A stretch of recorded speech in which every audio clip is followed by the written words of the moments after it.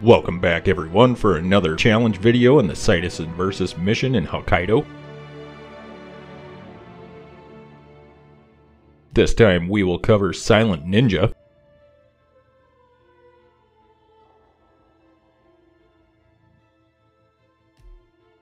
And since we are level 20 mastery, we can actually bring some tools with us this time, so let's smuggle in the Sieger 300 Ghost up on the mountain path Bring a silenced pistol, some coins, and disposable scramblers.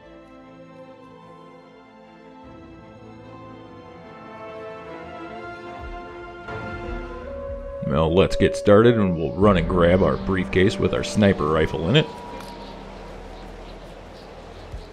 Let's get that out and shoot the platform right about there. And that will send Yuki into her target lockdown. Let's run over and hide behind this rock for some reason there's a weird little bug where some people down on that platform will see you all the way across the map and you'll lose Silent Assassin. Well, once she gets in there, we're pretty much in the clear, so we can run back out into the open, and once the gondola is visible, we can go ahead and shoot the support arm on there. And that will kill her and drop the gondola off the cable. Now let's run down the mountain path, and we can shoot the camera that's on the light pole from up here.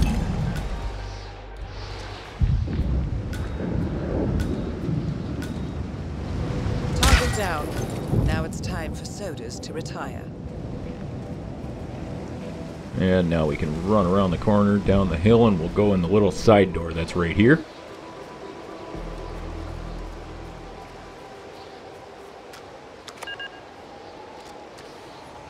Run down to the morgue. We'll run into this little security room and knock out the guard that's in here. We can destroy the camera box. We'll hide his body while we're at it.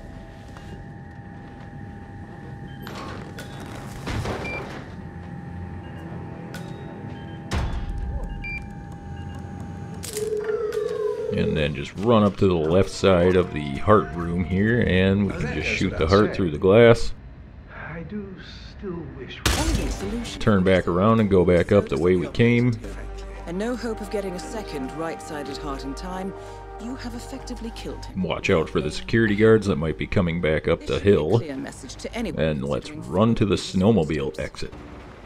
That's both targets down. Time to find an exit. And that will be it for that. That will get us the Silent Ninja Challenge.